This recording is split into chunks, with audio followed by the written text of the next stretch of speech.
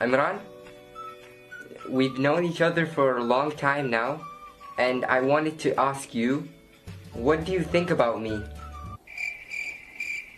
Nothing. Well, do you ever see me in your dreams?